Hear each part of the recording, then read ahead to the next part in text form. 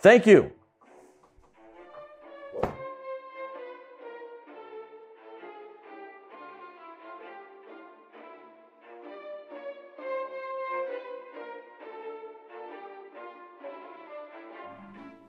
Twenty twenty.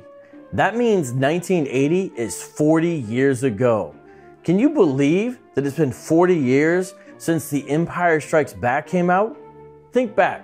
Do you remember that it's been 40 years now since George Brett of the Kansas City Royals chased a 400 batting average, finishing the baseball season at 390? And can you believe that The Breaks by Kurtis Blow is already 40 years old? Break it up, break it up, break it up! Um, then, it, then again, maybe you can on that one. That, that one sounded pretty dated. Still, can you believe it? 1980 is officially over the hill. Well, 2020 also marks another kind of milestone. Yet another failed end times prophecy by a cultic group. This time it's a sizable number of the Hebrew Israelite movement.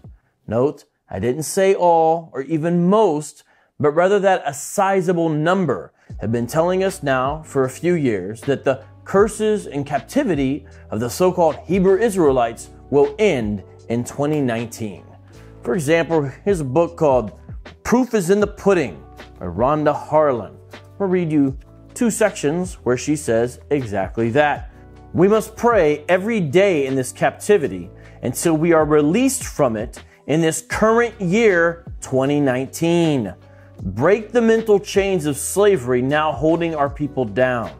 We must return to the laws, statutes, and commandments by faith. 2019. The 400 years curses will be over. Genesis 15, 12 through 14. Will you be ready? The end of our curse is upon us. The official dates of the slavery in the United States of America began August 1619. 400 years later would be 2019. In fact, both Adam Coleman and I did videos on this phenomenon in 2019. These videos were filmed on site at Point Comfort, Virginia. You have to watch the videos to understand the historical significance of that location. I'll put a link in the description.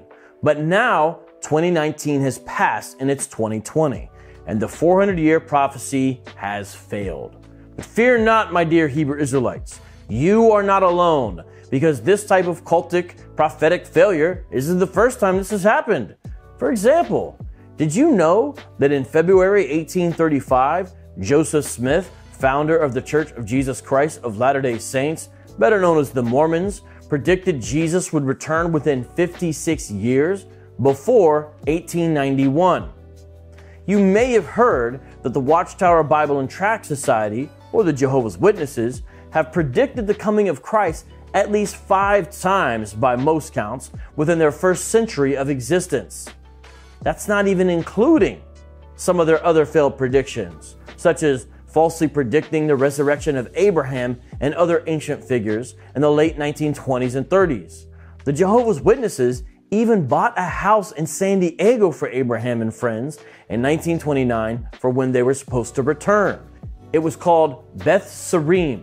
It was called the House of Princes, which they later sold in 1942. This time, however, the false prophecy falls at the feet of certain members of the black Hebrew Israelite community. A sizable number of black Hebrew Israelites promoted the idea that their captivity would end in 2019. Some black Hebrew Israelites who promoted this idea insinuated the return of Christ and ensuing judgment would be the mechanism by which this would happen. Other Hebrew Israelites disagreed with that aspect. For example, Elder Shadrach Porter, leader of a Toronto based group of Hebrew Israelites, mocked this version of the 400 year prophecy being promoted by some of his fellow co religionists in an interview which has almost 160,000 views at the time of this recording. End of the 400 years, what are we looking at? The Messiah coming? What is going to happen at the end of the 400 years? Oh, we hear that all the time. All you need to go is go on YouTube. and lot of hear the Messiah there. Coming. But when the man Jesus was asked a question, he said he doesn't know. Mm. Other Hebrew Israelites claim 2019 will mark the restoration of God's people in some significant way. But most Hebrew Israelites who talked about this prophecy kept it vague. It has to be more than a coincidence that the 400 year curse pronounced on Israel ends sometime in 2019. Or maybe they would say the 400 year curse ends sometime in 2019. Or they might say something big is going to happen to fulfill this prophecy. Or our captivity will end in 2019. Or time is almost up. But they never clearly defined what they meant. For example, Hebrew Israelite author Dante Fortson writes that the fulfillment of the 400 year prophecy is, quote, that the prayer lines open up in 2019 because the curse will end, end quote. End quote, the only thing you should expect is that sometime in 2019, we can start calling out to the Most High again as a people. In one of his multiple videos discussing the 400 year prophecy, Fortson implies part of the fulfillment of the prophecy will be a quote, shift in attitude towards true Israel, end quote.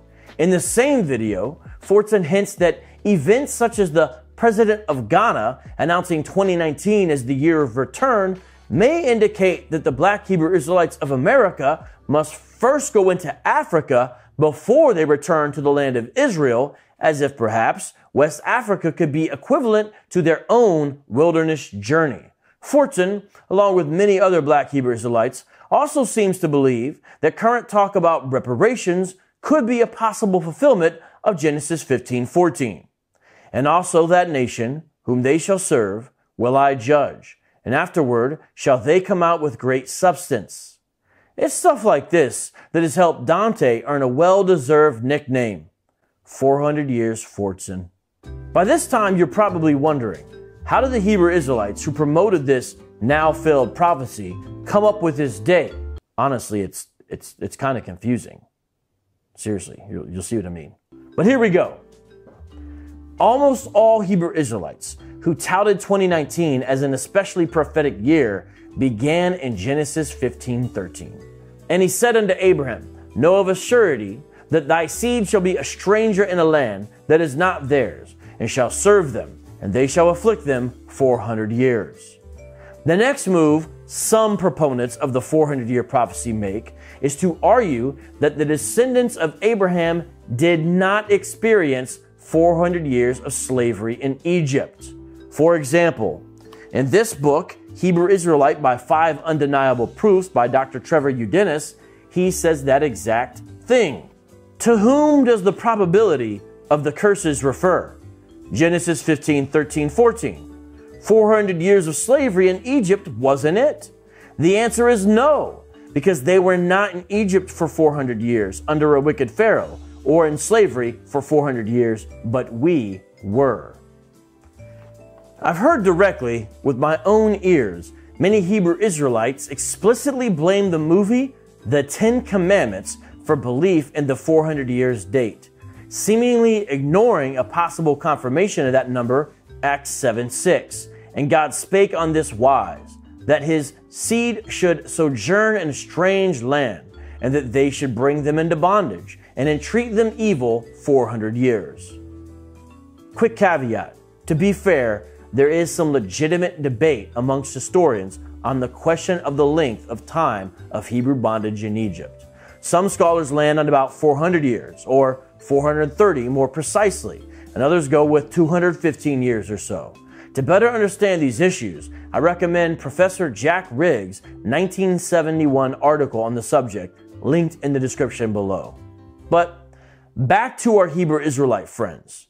The specific Hebrew Israelites who are proponents of the 400 years prophecy continue their argument this way. Since the Israelite captivity in Egypt was not 400 years, and yet 400 years were prophesied, the 400 years in captivity prophecy still must be fulfilled since we know God's word is true and prophecy can't fail. The next step some of these Hebrew Israelites make is to then misuse Deuteronomy Ah! You can't even pronounce I've been saying that for years. I mean, the right way. The next step some of these Hebrew Israelites make is to then misuse Deuteronomy 28:68 to claim that the United States is, in some sense, a new Egypt for the true biblical Israelites. For example, Hebrew Israelites by Five Undeniable Proofs by Dr. Trevor Eudenis.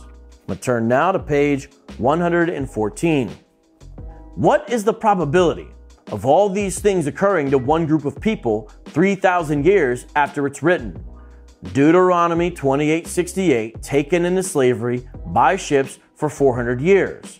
The people called Afro-Caribbean, Afro-American are the only people who fit each and every prophecy perfectly. I challenge you to find another. There is none. And here is an example by Elder Shadrach, leader of the Israelite Nation Worldwide Ministries. It means that the United States of America is Egypt. If you read the Bible, it will tell you that. You shall go into Egypt again with ships. The old Egypt, you did not need ship. I'm thinking about that right now in terms of how they would get to the uh, how they got to the old Egypt versus the new Egypt ships. They couldn't uh, take ships to the old Egypt. No, the old Egypt, we didn't need ships. Yeah, they didn't need ships. One thing to note Elder Shadrach of INWWM seems to hold a different version of the 400 year prophecy, where he, and he's certainly not alone on this, argues that the first captivity in Egypt was indeed 400 years, and therefore this current captivity will also run 400 years as well in the New Egypt, the United States of America. This position that both the current captivity in the USA as well as the initial captivity in Egypt both are 400 years is yet another variant of the 400 year prophecy. Indeed, there are many variations of the 400 year prophecy, but they all share a basic premise. 1619 marks the beginning of captivity for persons kidnapped from the continent of Africa, and 2019 marks the end of captivity for descendants of said persons who are actually the true biblical Israelites. Now, not to be outdone, other Hebrew Israelite advocates, such as the End of the World Ministries, believe much of the 400 year prophecy has already been fulfilled and is currently in the process of being fulfilled further. Personally, I do not believe that much of the 400 year prophecy has started to be fulfilled. I mean, personally, I do believe that much of the 400 year prophecy has started to be fulfilled. I do. I believe we're seeing the beginnings of the fulfillment of the 400 year, the end of the 400 years. However, End of the World Ministries claims if you have, quote, European training, you will never be able to see the fulfillment of the 400 year prophecy until it is too late, when the great and final war is brought to America's shores in order to judge the U.S. The final piece of the puzzle of knowing if the 400 year captivity is at an end is the coming war between America and Iran and their allies. Teo has taught this before you all knew this would be an issue between America and, and Iran. As an example of this fulfillment, End of the World Ministries talks about people migrating to countries such as Gambia and Sierra Leone as, quote, a partial fulfillment of the 400 years prophecy. But you must understand, not only is the year of return happening, right? You're going to see other things happening. There's a call to return where? There's a call to return to Africa. This is part of the fulfillment of us leaving the lands of our captivity. Frankly, End of the World Ministries and other Hebrew Israelite groups like them want to have it both ways in regards to date setting for the full fulfillment of the so-called 400 year prophecy. They want to make a big deal about 2019 and now even 2020, but without giving any meaningful specifics until after the fact. This, my friends, is a cheap trick. Don't be fooled. Now, let me offer a final word about these new dates being offered and these recalibrations. Since it's obviously now 2020 And since obviously nothing has really happened, what are the Hebrew Israelites who promoted this 400 years prophecy saying? Some are saying that the white man has tinkered with time and therefore they blame it on the westernized calendar. Others are saying that all they really meant was that the fulfillment of the 400 year prophecy can come anytime after 400 years, not that it would happen at the 400 year mark. Others are even recalibrating, saying now that the proper date is actually August 20th, 2020. Although 1619 to 2019 makes up 400 years, we must finish the final year. Therefore, the end of the prophecy would be August 20th, 20th, and not August 2019. And so now we have, most likely, yet another false prophecy to look forward to. But the loudest voices are now promoting this idea that the 400 year prophecy was and or is being fulfilled. It's just that we can't see it. Then they look back at 2019 and find ad hoc news items they can force like so many misshapen pieces into a puzzle of their own making. It's prophecy after the fact, ladies and gentlemen, which is really no prophecy at all. One final word now I offer about the One West camps. Remember, I said this was probably not a majority position, but it certainly is a sizable number. My fellow urban apologists know this. For we, we couldn't go anywhere on the Hebrew Israelite sections of the internet for the past couple of years without bumping into proponents of the 400 year prophecy. They were everywhere. Here's some examples.